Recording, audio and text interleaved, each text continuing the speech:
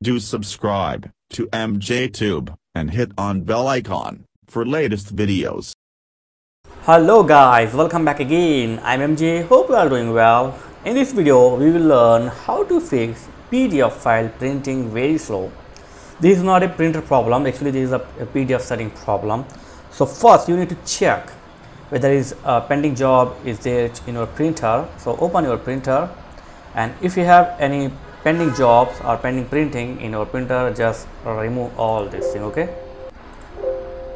Remove the pending printing okay? After this the important thing is open the your pdf file then go to print. You can press the control p and then select your printer and now go to advanced and you will find the option here. So first check on let printer determine colors. You need to check on this option and then check on print as image and then click ok.